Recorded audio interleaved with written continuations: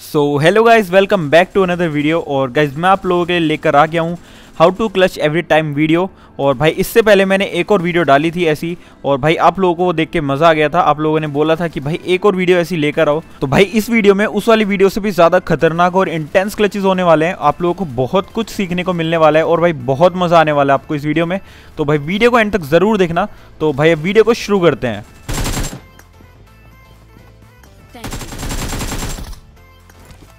सो guys हमारा पहला क्लस आ जाता है पोचिंकी का अभी गाइस जो सामने वाला घर है ना भाई, वहाँ पे पूरी की पूरी एक स्क्वाड है। तो भाई मैं सोचता हूँ कि यार नेट से एक दो बंदों को फोड़ देता हूँ, पर भाई मेरे पास एक भी ग्रेनेड नहीं होता है। तो भाई मुझे यहाँ पे वेट करना होता है कि कोई बंदा पीक करे और मैं उसको नॉक करूँ। अब गज मैं यहाँ पे एक बंदा नॉक कर देता हूँ, पर तभी मेरा टीममेट नॉक हो जाता है और गज लेफ़्ट से ना एक बंदा मुझ पर पुश कर देता है तो मुझे अंदर आना पड़ता है। और भाई, इन बंदों को लग रहा होता है कि मैं डर के भाग रहा हूँ इनसे, और ये बंदे मुझ पर अंधा रश कर रहे होते हैं। इसी चीज़ का मैं फ़ायदा उठा लेता हूँ। और गैस देखो अभी मैं इनको कैसे मारता हूँ।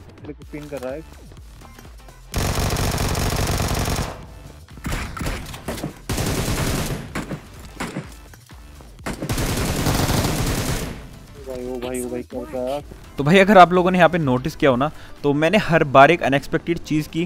गैस यहाँ पे मैं बंदे के मुँह पे जाके उसको नॉक किया मैंने और गैस उसके बाद में बंदे के सीधा मुँह पे ही कूद गया और भाई, बंदे ने सोचा नहीं होगा कि मैं ऐसा कभी करूँगा। और भाई, तीसरा बंदा जो था, मैंने इसको भाई प्री फायर में ही ले लिया और भाई, यहाँ पे वन वी फोर ईजिली हो जाता है। अब गैस आप लोग भी इस चीज़ को कर सकते हो। आप भाई अनएक्सपेक्टेड वो चीज़ करो जो बंदे ने सोची ही ना हो। भाई वन वी थ्री की सिचुएशन है। भाई बंदे तुम पे रश कर रहे हैं, तुम बंदों पे रश कर दो। मतलब एनिमीज को ना सोचने का मौका ही मत दो कि उनके साथ हो क्या रहा है यहाँ पे। सो so गैस हमारा सेकंड क्लच निकल के आ जाता है जो जो सिटी का। अभी गैस यहाँ पे ना साइड वाली बिल्डिंग में बंदे होते हैं और वो मुझ पर रश कर रहे होते हैं। तो गैस अभी देखना मैं यहाँ पे कैसे क्लच करता हूँ।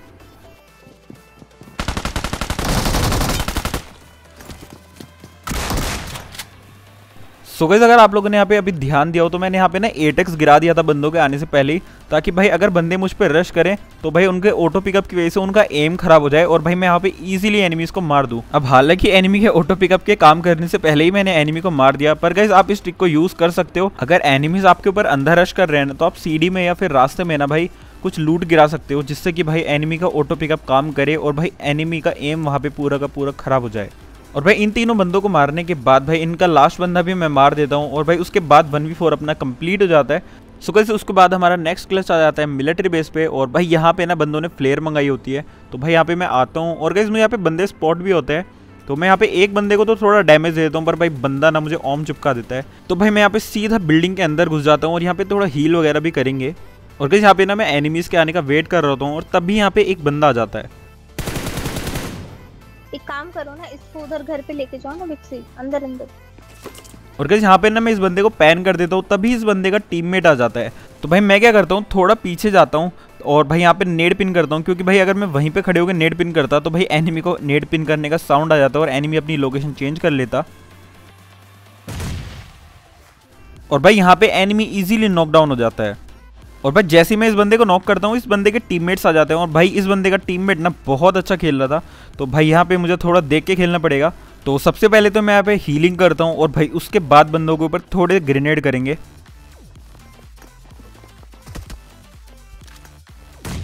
और भाई यहाँ पे मैं एनिमी का साउंड सुन लेता हूँ और भाई बंदे की लोकेशन मेरे को पता होती है तो भाई मैं सीधा नीचे जंप लगा देता हूँ। पर भाई बंदा कवर में चले जाता है, तभी उस बंदे का दूसरा टीममेट भी भाई यहाँ पे आ जाता है।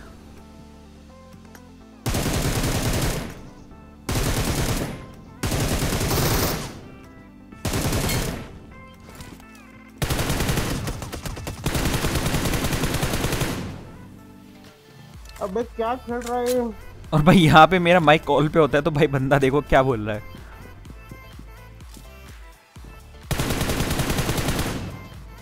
और भाई इसी के साथ अपना वन वी फोर यहाँ पे कंप्लीट हो जाता है। सो गैस हमारा क्लच नंबर फोर आ जाता है मिल्टा में और गैस इस वाले क्लच में आप लोग देखोगे कि आप लोग एक छोटे से पत्थर के कवर में भी ना भाई पूरी की पूरी स्कोर वाइप कर सकते हो। आगे एक बंदा आ गया। आगे तेरे पे।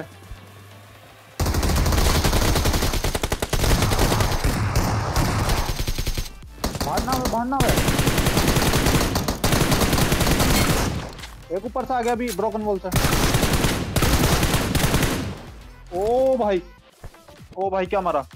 और भाई, इस वाली क्लच के लिए एक लाइक तो बनता है भाई। फटाफट से लाइक करो, तब तक भाई मैं ये वाली स्क्वाड भी वाइप कर देता हूँ। अरे यार भाई, ये तो थोड़ा हैवी सीन हो गया। रुक जाओ, अभी रिवाइव होते हैं, फिर बताते हैं इनको। अभी गाइस यहाँ पे ना एनिमीज मुझ पर रश कर देते हैं। तो भाई, अभी देखना यहाँ पे मैं कैसे फाइट निकालता हूँ।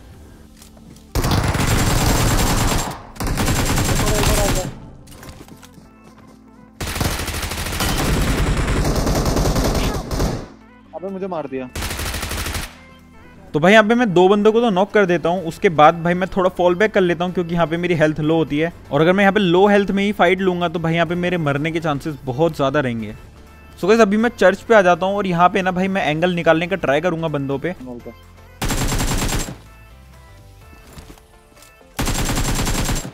अभी गाइस यहाँ पे मैं एनिमीज का तीसरा बंदा भी नॉक कर देता हूँ, पर भाई मैं अभी रश नहीं कर सकता, क्योंकि मेरी अभी भी हेल्थ लो है, और भाई नीचे वाला बंदा भी अभी तक रिवाइव हो चुका होगा। तो भाई इसीलिए मैं पहले तो हील करता हूँ, और उसके बाद मैं एनिमीज पे रश करने का सही मौका ढूंढता हूँ।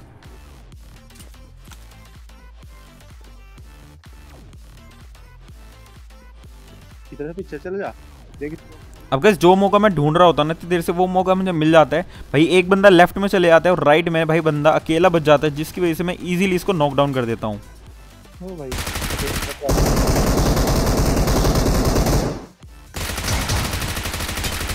और भाई इसी के साथ अपना फिफ्थ क्लच भी कंप्लीट हो जाता है। सो गाइज़ आई होप आप लोगों को ये वीडियो पसंद आई होगी। अगर आप लोगों को ये वीडियो पसंद आई है ना तो भाई इस वीडियो को लाइक कर देना शेयर कर देना अपने दोस्तों के साथ और भाई कमेंट सेक्शन में मेरे को ज़रूर बताना कि तुम्हें इसका नेक्स्ट पार्ट चाहिए या नहीं चाहिए। और भाई साथ में मेरे को ये भी बताना कि तुम्हें सबसे बढ़िया क्लच कौन सा लगा इस वीडियो में। बाकी यार, मैं मिलता हूँ आपसे नेक्स्ट वीडियो में। तब तक के लिए बाय बाय